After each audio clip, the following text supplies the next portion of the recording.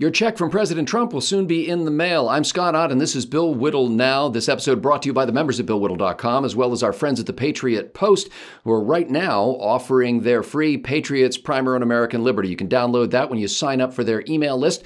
Just go to the link in the description below. Uh, Bill, there's a lot of talk in Washington, D.C., bipartisan talk for that matter, about sending money directly to American citizens as part of an overall relief package. Uh, the overall relief package that's being proposed. Uh, uh, by uh, Steve Mnuchin at the Department of Treasury with the president's blessing is some trillion dollars of federal spending, 250 billion of which is slated to be payments to individual Americans. Uh, but Bill, there are a couple of questions that come up when you think of being a conservative in the context of a bailout. First of all, at first blush, what do you think about the idea of the federal government seizing on a crisis like this to send checks to individual Americans? Well, putting aside the severity of this for a minute, because there's a still a lot of debate about whether this has been kind of oversold or not. Uh, this is without question, I think, a national emergency, and in national emergencies, I think the federal government is is not only uh, uh, morally permitted, but also th- this is why this is why we have governments. Um, now, cash bailouts are, are, are tricky business. First of all, I suppose to put all of this in context, we need to remember that we are, at any given time in this country, writing hundreds of really probably writing a trillion dollars of checks just giving people money. So we're talking about including people who are going to be hurt by this um, by this enforced sort of uh, societal uh, isolation and so on. So I I tend to think that in, in a case like this, in a case of an emergency, this is the kind of thing that the government actually should be doing. I just wish they weren't doing it when it wasn't an emergency. Uh, so that's my initial take on it.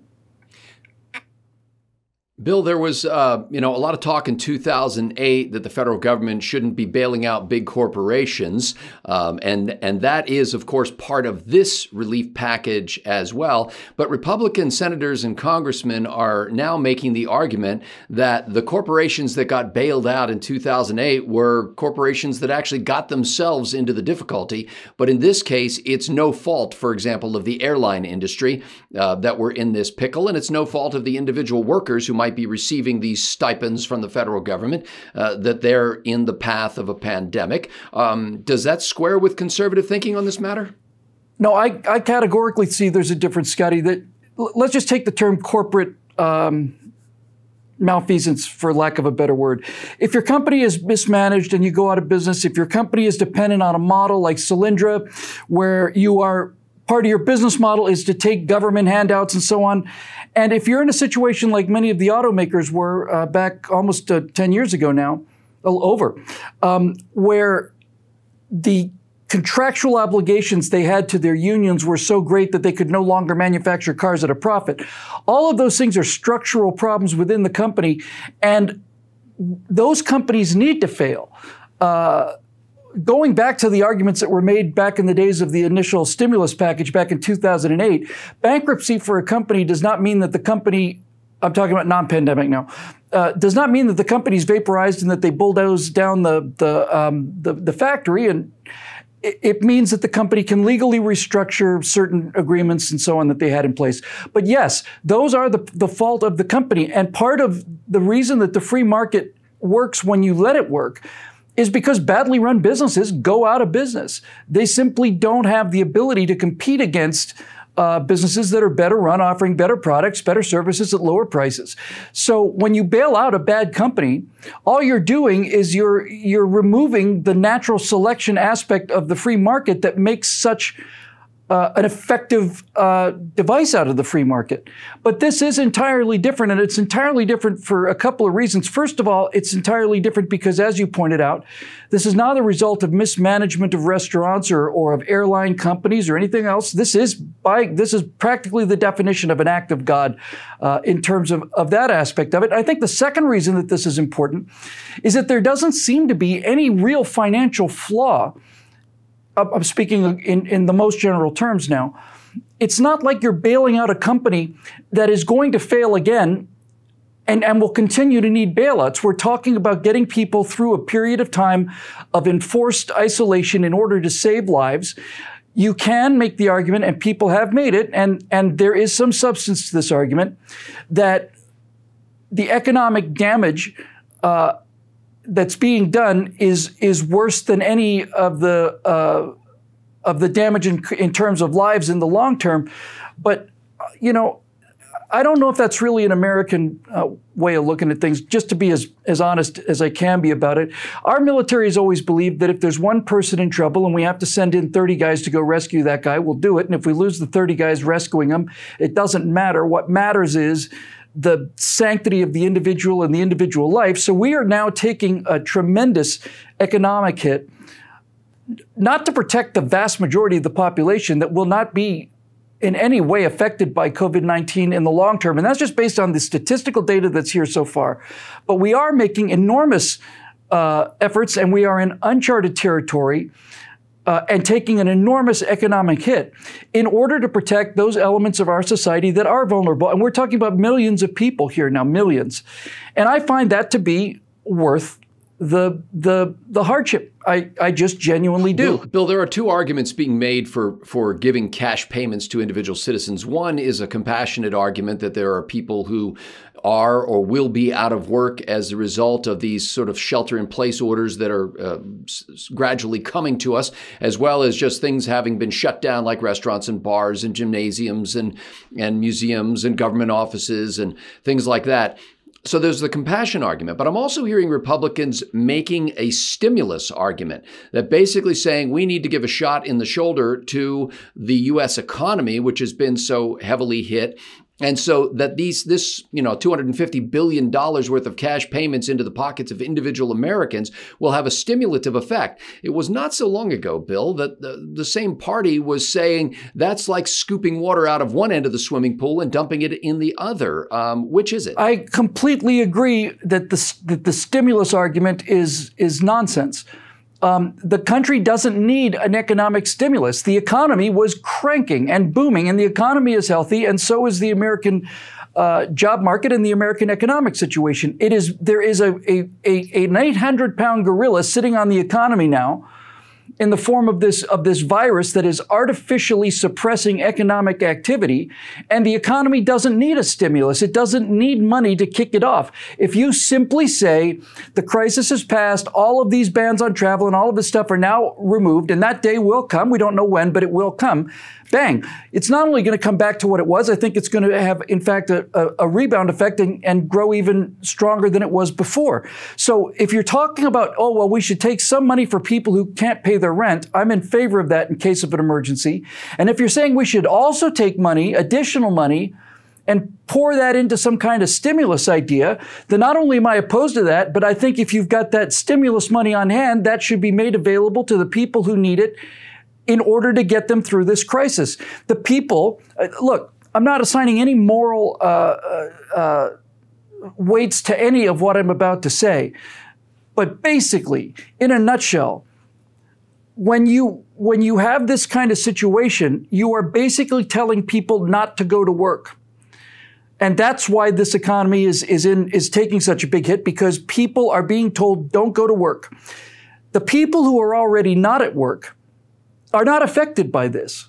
The people who are affected are the people who get up every morning and, and, and go to work and they and they put in these hours and they commute back and forth. And now it's not a question these people don't want to go to work, they simply can't.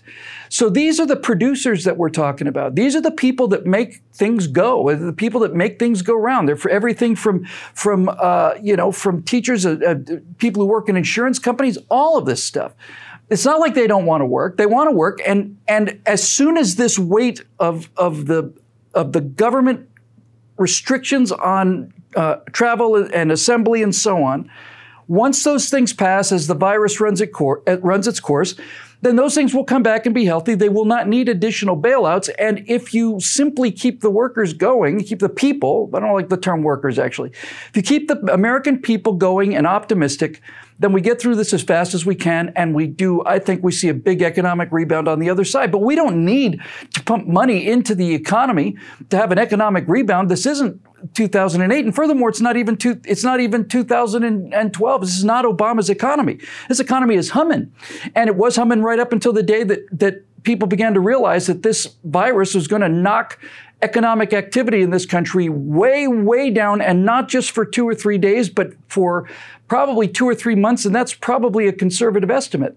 So, you know, what this is, Scott, it, it's like, and, and I think there's something to this. The, the Victorians put it, as usual, in, in pretty blunt terms, but they basically talked about the poor and then the deserving poor.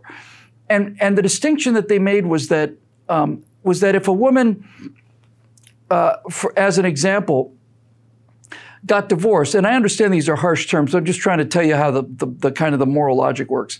If a woman got divorced and she just decided she didn't want to be there anymore, and she was th- that woman would suffer a great deal of shame and ostracization, and she wouldn't get a whole lot of help. If, on the other hand, that same woman had a husband who died leading a cavalry charge, you know, in in in uh, Natal or something in 1879, then that person would be considered the deserving poor. There would be, and the distinction would be that they're that the the dire circumstances that they are in are no fault of their own, and through no uh, action of their own could they have prevented them. And this, to me, seems like a, a very clear, a very clear cut case of that. I'm not, I'm not, again, I'm not trying to put throw any moral weights on things, other than to say that we don't have a problem with people suddenly deciding not going to work, and we don't have a problem with the economy not working. We now have a short-term issue where the where the economy is, to many extents, simply shut down artificially. When I say artificially, I mean for non economic reasons. And they're doing this to save lives. And since we are doing this to save lives, I think we're all in this together. The American people are all in this together. And I think it's a legitimate use of, of taxpayer money because it is for um, it's for the, com- the, the, common welfare, for the greater welfare of, the, of all people who benefit from this. You could say, you could say, and, and I think there are places where this is actually happening. You could basically say, hey, you know what? We can't afford to do this. We don't want to spend this taxpayer money. We don't want to take this kind of economic hit. So, you know, this virus is going to spread and 95, oh, sorry, 98, 99% of the people out there are going to get mild flu symptoms and continue working, but it will affect the people who are at risk and we may lose two, three million people as, as a result of that. That kind of argument could be made, but I don't I don't want to live in a society that is making a cost benefit analysis on the lives of people that could be saved, although, although there does come a point where you are now talking about a case where the remedy is is worse than the cure. We discussed that before on the idea that, you know, it, you could basically eliminate traffic deaths by making sure nobody drove anywhere ever again in cars, buses, or whatever. Comes a point when it becomes more harmful than good. But in a case like this, helping people who are hardworking people who didn't even ask for the help, I might point out, in terms of like, you know, that that aspect of it, to me, I think is a necessary part of us dealing with this. And for people who have a problem with with the with the spending and the and the just the budgetary aspects of it, I would urge you to consider this defense spending. I, I mean it. We, we spend an, a significant amount of money every year on the nation's defense to protect our citizens. And we do that for appropriate reasons. And I'm a big fan of defense spending because I kind of cherish the freedoms that we have here. But you could certainly make the case that this is a, a an invasion of the American way of life. This is not a, a, change in what we decide to do or how we decide to do it. We have, in fact, have got now alien invaders on the shore of this country, and we need to do something to save American lives. And, and that's why we pay for aircraft carriers and nuclear submarines and, and, and F 35s and all the rest. So I don't see this as a handout. And if I did, I'd have, it, I'd have a completely different view of it. But I, I don't see this as a handout. I see this as a, a, a compensation for external political pressures that have caused businesses enormous economic damage and will continue to. And, and, and it's not going to the owners of the companies really. This is to, to, the, to the workers so that they can basically make their rent and pay their bills and so on. And, I, and I would like to say one, one more thing about that aspect, the second aspect of it. Traditionally in a crisis, what you see is price gouging. That that seems to be the the the dark side of humanity when people are wiped out and they don't have any water and now you've got some water and you're selling a bottle of water for $200 and that kind of thing but not only am i not seeing that um, i'm seeing the opposite of that uh, just as one example, Uber Eats, which delivers food to people, has decided to cut their delivery charge, the money they just charge to actually organize delivering the money to go to food. It's not the food cost, it's not the tip to the driver, it's the delivery charge. Uber Eats has said that they're going to they're going to eliminate the delivery charge for the duration of the crisis. A, there is no delivery charge added to it. Now, whether or not that makes a big difference in terms of whether you can order the food or not, to me is less important than the attitude. And I seem to be seeing that everywhere. That everybody is just really being very cool and forgiving about this. I don't see anybody looking at this as an opportunity to gouge people, with the exception of the news media, obviously. And, and other than that, I, I think that this is a legitimate case for expenditure of government funds in the case of a federal emergency. This is not a state issue. This is not a local issue. This is a national emergency. And I just wish that the federal government had been better run prior to this, because if we had, this would be a surplus that we would be having instead of adding to this deficit. And that's why we have the money available in the first place.